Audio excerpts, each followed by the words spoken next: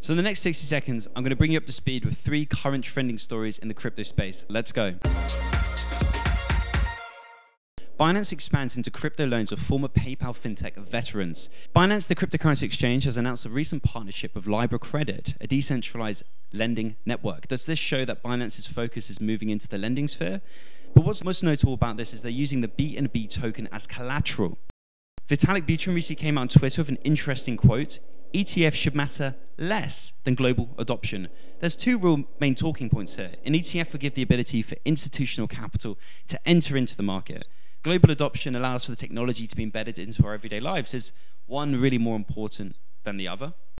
Amazon Web Services has recently announced the integration with Qtum Protocol. This could be a huge catalyst for the Qtum coin, which is currently ranked 22nd on CoinMarketCap.